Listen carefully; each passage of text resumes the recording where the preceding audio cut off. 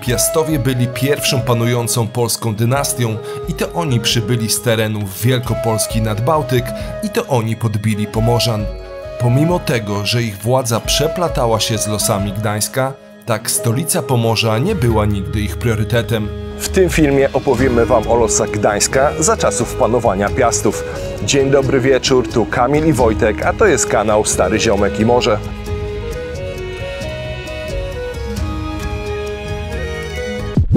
Mniej więcej w czasie, kiedy Jan Kanapariusz opisał historię biskupa Wojciecha, ten został kanonizowany i jego kult zaczął rozwijać się zarówno na terenach obecnego Pomorza Gdańskiego, jak i w całej Polsce, Czechach, Italii czy Cesarstwie Niemieckim.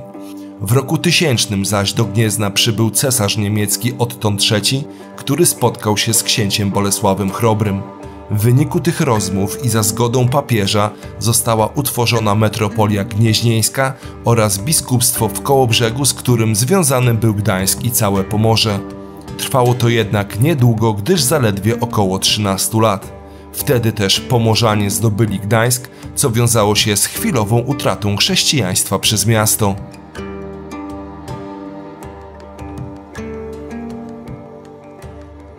Tu też trzeba wspomnieć kolejny fakt. Gdańsk w żywocie świętego Wojciecha opisany był jako urbs, co by wskazywało, że jest to ośrodek miejski.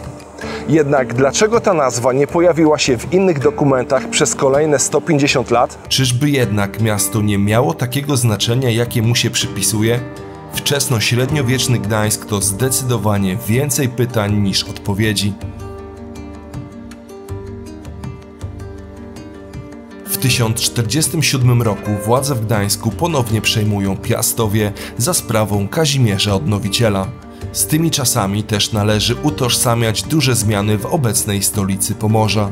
Dzięki badaniom archeologicznym wiemy, że to właśnie w XI wieku powstał gród leżący przy obecnym ujściu Motławy do Wisły, aczkolwiek te tereny około tysiąca lat temu nie wyglądały dokładnie tak jak obecnie. W przybliżeniu mieścił się on na wyspie, tam gdzie dziś biegnie ulica Czopowa i Grodzka.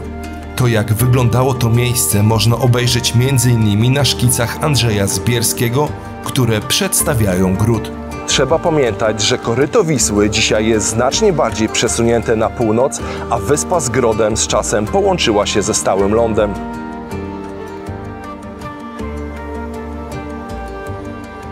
Powstanie zabudowy mieszkalnej wewnątrz grodu datuje się na lata 60. XI wieku, czyli były to czasy panowania Bolesława II Śmiałego. Wokół grodu pojawiali się handlarze, rzemieślnicy i rybacy.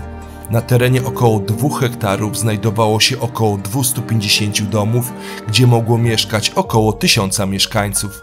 Nie wolno również zapominać o porcie, który Gdańskowi, jak i Polsce znacznie podwyższał PKB a jak wyglądały wtedy domostwa można zobaczyć między innymi na tych szkicach stworzonych przez Romana Barnycza-Gupieńca czy Andrzeja Zbierskiego.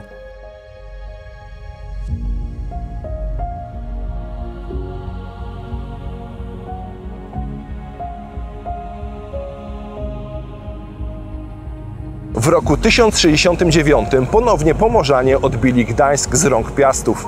Po 20 latach zaś książę Władysław Herman zebrał grupę uzbrojonych rycerzy i wyruszył ku ujściu rzeki Wisły. I o ile udało mu się zdobyć miasto, tak nie był w stanie go utrzymać. W ramach frustracji swoją bezsilnością postanowił spalić pomorskie grody, w tym prawdopodobnie również ten w Gdańsku, aczkolwiek te informacje muszą potwierdzić jeszcze badania archeologiczne. Dopiero syn Władysława, Bolesław Krzywousty, na jakiś czas rozwiązał pomorskie problemy poprzez kolejny najazd z Gwardią Królewską, ale tym razem już bardziej skuteczny. Wtedy też po raz pierwszy dowiedzieliśmy się, jak nazywają się książęta pomorscy, gdyż Bolesław ustanowił swoich namiestników. I tak też w anałach historii pojawili się Sobiesławice. Aczkolwiek pierwszy z nich, Sobiesław I czy też Subisław, jest postacią na poły legendarną, a wzmianka o nim pojawiła się dopiero w Kronice Oliwskiej z XIV wieku.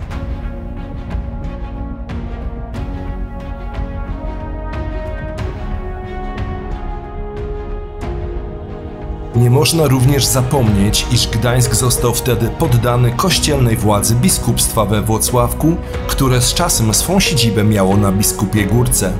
Jednym z punktów programu działalności biskupstwa było nawracanie Pomorzan i Prusów na jedyną w tym czasie słuszną religię. Tutaj też mają miejsce dwa inne kluczowe zdarzenia dla Gdańska.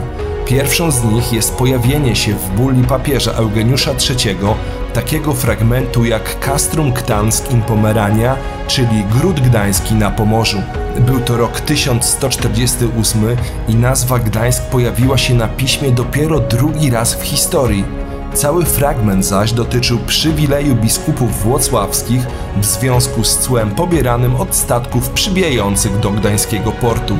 Od tego czasu też Gdańsk w źródłach pisanych pojawiał się regularnie. W tych czasach powstał prawdopodobnie najstarszy kościół w Gdańsku, czyli kościół Bożej Rodzicielki Marii, o którym wzmianka pojawia się w źródłach pisanych z XIII wieku. Badacze jednak nie są w stanie odpowiedzieć na pytanie, jak wyglądał, z czego był zbudowany oraz gdzie się prawdopodobnie znajdował. Przypuszczalna lokalizacja to przy ulicy Sukienniczej, gdzie zostały odnalezione relikty cmentarzyska, a te zazwyczaj były położone w bliskim otoczeniu kościoła. W tym też miejscu namawiamy Ciebie do wsparcia naszej filmowej pracy poprzez zostanie naszym mecenasem na stronie patronite.pl, link w opisie filmu, a także do jego polubienia, udostępnienie oraz subskrypcję tego kanału. Dziękujemy bardzo i lecimy dalej. Tam, gdzie znaleziono jedne z pierwszych śladów osadnictwa w Gdańsku, czyli rejony Kępy Dominikańskiej, w latach 80. XII wieku został wybudowany murowany kościół parafialny pod wezwaniem świętego Mikołaja, a inicjatorem był Sambor I książę gdański. W tamtym czasie również z inicjatywy Sambora zostali sprowadzeni do Oliwy Cystersi, którzy w tym miejscu zbudowali klasztor. Miało to o tyle znaczenie, iż zakonnicy byli bardzo zaradni i wpływali na rozwój okolic wokół Gdańska. Do nich należały liczne wsie, karczmy czy też tereny uprawne.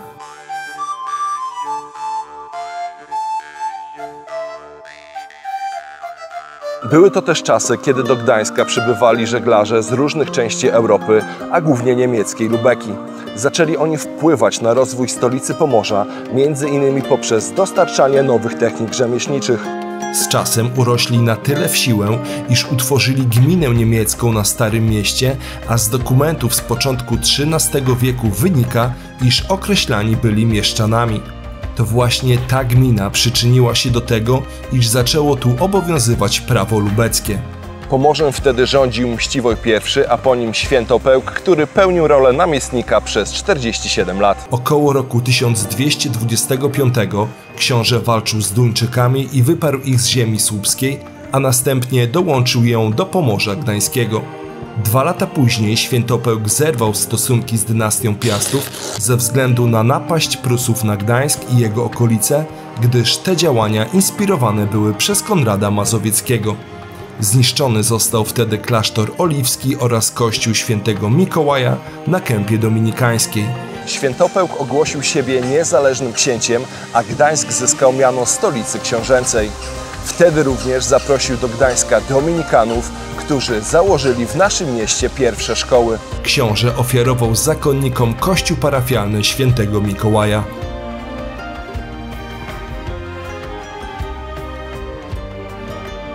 Sześć lat później krzyżacy otrzymali wsparcie od Świętopełka w wojnie z Prusami. W 1242 roku doszło jednak do wybuchu wojny pomiędzy księciem a Konradem Mazowieckim, którego wspierał zakon krzyżacki.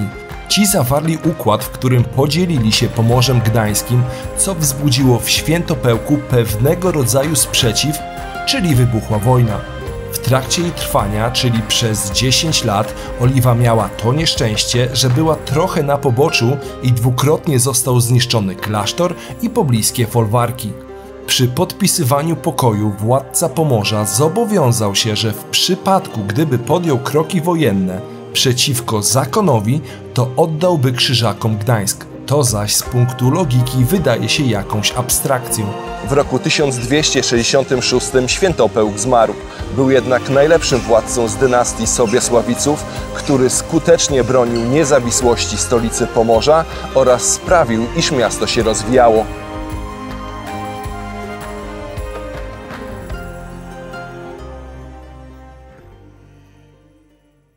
Kolejnym władcą Pomorza został Warcisław II, jednak po czterech latach stracił władzę na rzecz swojego brata Mściwoja II. Obaj byli synami Świętopełka. Początek rządów na Pomorzu nie był jednak dla Mściwoja łatwym zadaniem. Obawiając się krzyżaków, nowy władca Pomorza zaprosił do Gdańska margrabiów brandenburskich, oferując im zwierzchnictwo nad Gdańskiem.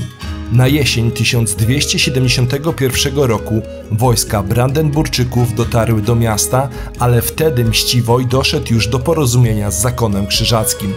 Margrabiowie zajęli jednak Gdański Gród, a mieszczanie przeszli na ich stronę. Mściwoj, wspierany wojskami Bolesława Pobożnego, w styczniu 1272 roku szybko odbił Gdańsk, a swoich wrogów wybił w pień. Oprócz Brandenburczyków zostali zabici przywódcy mieszczan, a najbardziej aktywnych wyrzucono z miasta i rekwirowano ich majątki. Władze miejskie musiały rozebrać umocnienia, zakazano polowań i pozyskiwania drewna z pobliskich lasów, zaś mieszczanie zostali odsunięci od władzy. Gdy jednak władzę po Mściwoju przejął Przemysł II, który z czasem został królem Polski, to Gdańsk otrzymał zgodę na odbudowę murów obronnych.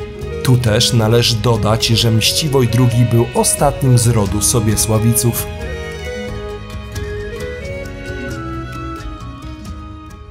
Kilka miesięcy po tragicznej śmierci Przemysła II, który został zabity przez Brandenburczyków, jego następcą został Władysław Łokietek. Tenże na wojewodę pomorskiego mianował Mikołaja Jankowicza. Jedna z pierwszych decyzji podjętych przez Łokietka od razu nie spodobała się gdańszczanom, gdyż zezwolił na utworzenie kantoru lubeckiego, a to uderzało w ich interesy. W Wielkopolsce niedługo potem doszło do buntów, co sprawiło, że nowy władca Pomorza musiał udać się na wygnanie, gdyż zagrażał mu Wacław II i to on przejął po nim władzę. Za jego zgodą do Gdańska wkroczyły wojska krzyżackie. Był to rok 1301. Wtedy jednak zakon nie rościł sobie żadnych praw do Gdańska.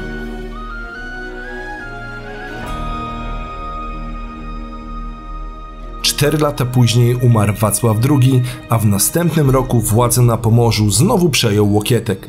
W latach 1307-1308 Brandenburczycy wraz z pomorskim rodem Święców chcieli zdobyć stolicę Pomorza, co też im się udało. Łokietek, mający problemy w Małopolsce, nie mógł wyruszyć z odsieczą na północ i dlatego przystał na propozycję opata gdańskich dominikanów, aby zwrócić się o pomoc do krzyżaków, za co ci mieli otrzymać sowite wynagrodzenie. Siła zakonu wystarczyła do zdobycia miasta, co miało miejsce z 12 na 13 listopada 1308 roku. Zakon jednak nie opuścił miasta, jak to miało miejsce 7 lat wcześniej, a je przejął i uznał się za właściciela Pomorza Wschodniego. Zdobycie miasta otrzymało nazwę Rzezi Gdańska. Zabici zostali nie tylko broniący miasto rycerze, ale wybitni mieszczanie, szlachta pomorska oraz zwykli mieszkańcy. To zdarzenie głośnym echem rozeszło się po Europie i spowodowało, że papież nakazał zbadać, czy krzyżacy zamordowali w Gdańsku 10 tysięcy osób, co nie mogło być prawdą, gdyż to wtedy nie było tak duże miasto. Od tego momentu zaczęło się panowanie krzyżaków na Pomorzu. I to by było na tyle. Mamy nadzieję, że klarownie opowiedzieliśmy Wam ten fragment gdańskiej historii. Jeżeli tak, to możecie sprawić nam radość i polubić ten film, udostępnić go i zasubskrybować ten kanał.